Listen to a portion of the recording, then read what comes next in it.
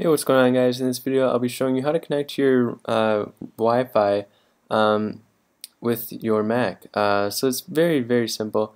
Um, basically what you want to do is you want to go up in this upper right corner and you're gonna find this little thing for Wi-Fi. Now if it's off you want to just go ahead and turn it on and then it'll go ahead and search around for networks.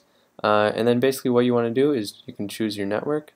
So if we just click that and then we type in our password. So um, just to keep it simple, I made it wireless and go and just click join. And there we go. And then we have uh, full Wi-Fi bars right up here. Um, now let's say you don't have this little icon right up here. What you can do is you can go into system preferences and go ahead and go to the network preferences and you can make sure that this little show Wi-Fi status in menu bar is checked and then uh, you'll have that little icon right up in the the status bar right up here. Uh, so that's basically it for this video. If you have any questions, leave them down below. Um, if you have any problems, uh, just let me know, and I'll hopefully try to work them out with you. Uh, but thanks for watching, and I'll see you guys next time.